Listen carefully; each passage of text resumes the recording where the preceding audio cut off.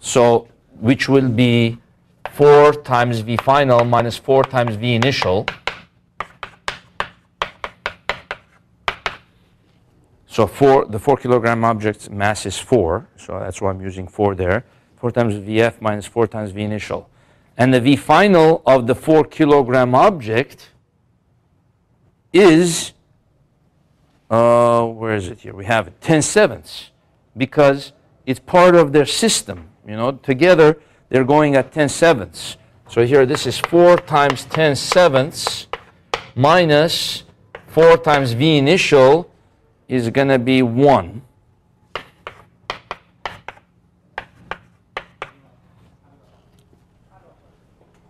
And now we're left with uh, 40 minus 28 uh, is uh, 12 sevenths.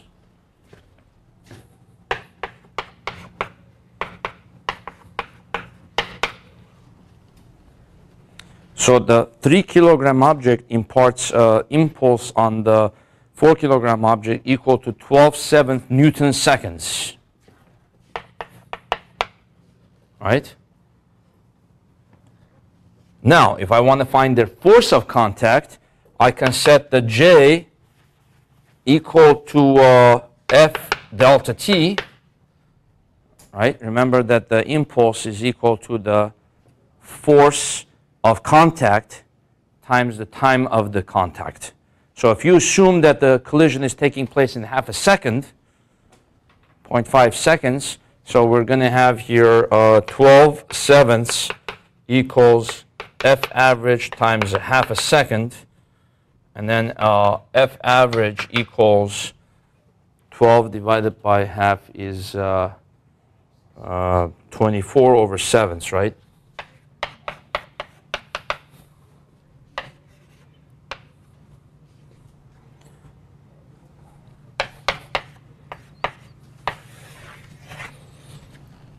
Impulse, the, that would be their force, the, the mutual force of uh, collision here will be 3.42 newtons. And it would be the same answer if I had done it the other way. If I had said delta P of the 3 kilogram is J on 3 kilogram, and then I would have had 3 times V final minus 3 times V initial. I would have had 3 here. Then I would have had 10 sevenths minus 4. Uh, I would have 3 here. Then the V initial of the 3 would have been what?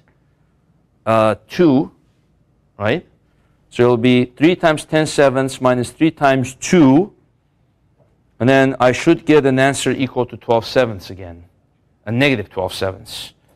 In other words, the, um, the answer, J on the 3 kilogram object, should be negative 12 sevenths.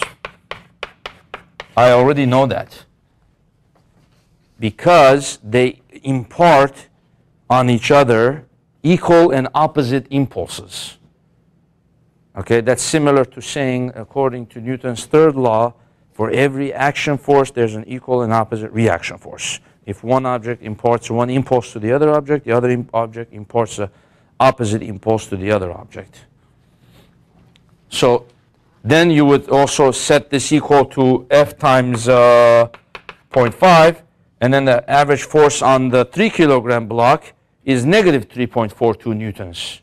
So they exert opposite and equal forces on each other. Okay, okay.